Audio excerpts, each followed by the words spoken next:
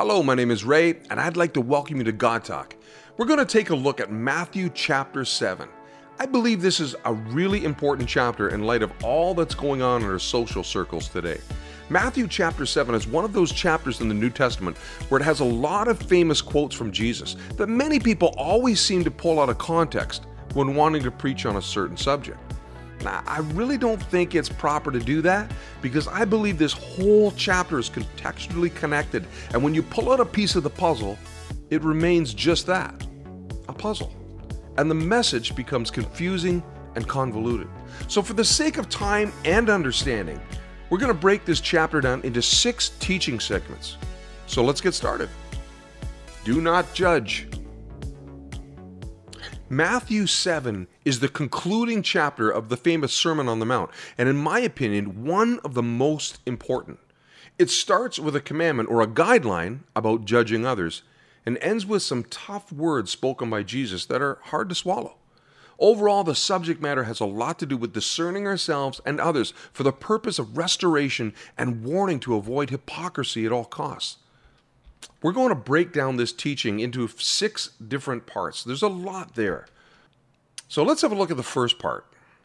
Do not judge, or you too will be judged. For in the same way you judge others, you will be judged. And with the measure you use, it will be measured to you. Why do you look at the speck of sawdust in your brother's eye and pay no attention to the plank in your own eye?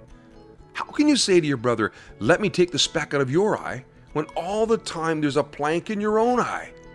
You hypocrite! First take the plank out of your own eye, then you will see clearly to remove the speck from your brother's eye. Do not give dogs what is sacred. Do not throw your pearls to pigs. If you do, they may trample them under their feet and turn and tear you to pieces. Okay, for now, we're going to stop there. Do you find this passage a little confusing? The words of Jesus here seem a little bit contradictory, wouldn't you say? For instance, in the first line, he warns us not to judge, but then tells us to remove the plank from our own eye before removing the speck from a brother's eye. And then he follows up with advising us not to give dogs or pigs anything of value. Well, my question is how are we to know in the first place that there's a speck in our brother's eye, or a log in our own eye for that matter, if we don't judge? The same goes for the commandment about giving dogs and pigs anything of value. How are we to know who the dogs and pigs are if we don't judge? When we determine those things, are we not judging? To fully understand this passage, we really have to take in account who Jesus is talking to in this time. Now, here he would be speaking to a Jewish audience, with some of the Pharisees and teachers of the law present. As it states in Isaiah 61, Jesus had been anointed to preach the good news. Well, what is the good news? The gospel of grace. The old covenant of the law was coming to a close, coming to an end. And Jesus himself was bringing in the new covenant of grace. We need to remember the old covenant of the law always brought condemnation, where the new covenant, the gospel of grace, always, always points to redemption. Always. So, in the first few lines here, do not judge or you will be judged. For in the same way you judge others, you will be judged. And with the measure you use, it will be measured to you. Jesus here is setting up some boundaries. He's saying, you're not to judge anyone through the lens of the law because the law brings condemnation, and you are just as guilty.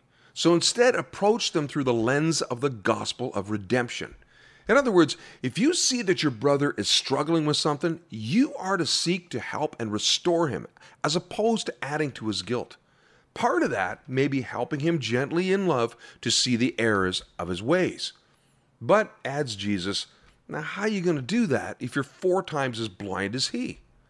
Now, there is a little bit of an angry, sarcastic tone here, as I believe he was indirectly addressing the Pharisees and the teachers of the law at this time. Who should know better? Later on in Matthew 15 14, there's also an account of Jesus warning his disciples to stay away from the Pharisees, calling them blind guides, and mentioning that if the blind lead the blind, both will fall into a pit. So, what could possibly be the blindness that stops us from being successful in helping to restore our brother? Well, we could be struggling with the same sin or problematic situation. How can we possibly address to him the error of his ways if we're knee deep in the same puddle? Before we jump in to correct or help to restore anyone, we need to examine ourselves.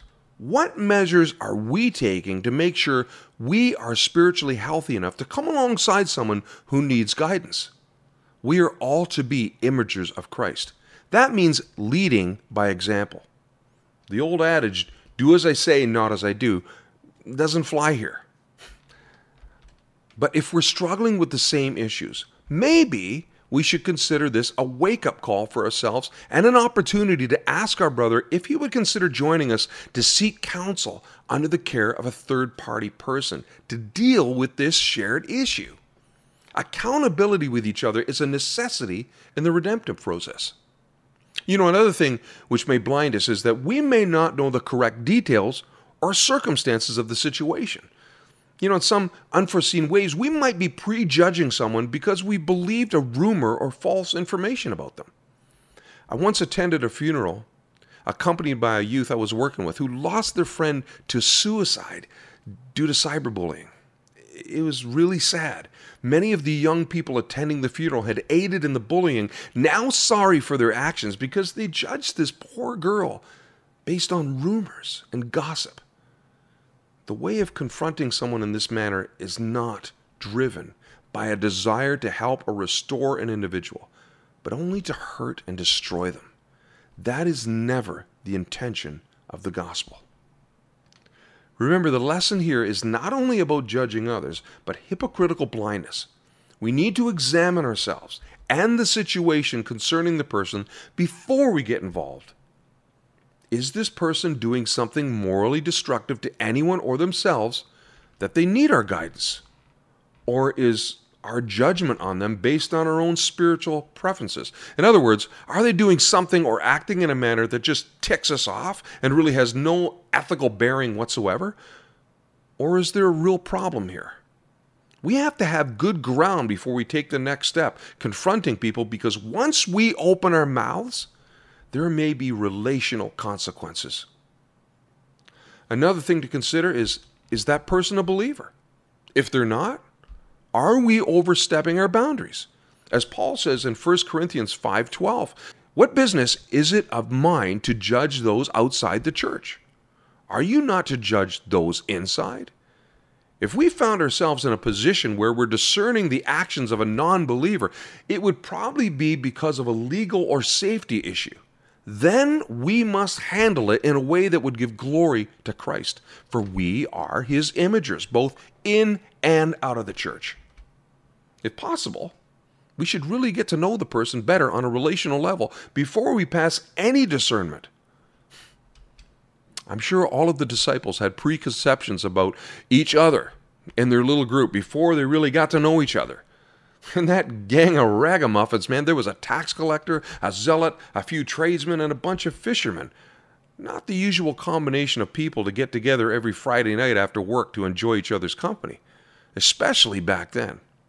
They basically had one thing in common they knew Jesus. And because they knew Jesus, they got to know and learn about each other. He is the common ground. He's the common ground in which we must base all relationships. That's why the commandment to love God with everything we have comes before the commandment to love our neighbor as ourselves. Without seeing each other through the eyes of God, loving each other and ourselves through every circumstance is simply not possible. We're going to stop there for now. Thanks for joining us tonight, and next week we're going to take up where we left off. We're going to learn about who these dogs and pigs are that Jesus warns us not to give anything of value. And remember, if you have questions, please put them in the comments below or send me an email at godtalk41 at gmail.com. Godtalk41 at gmail.com. Have a great evening.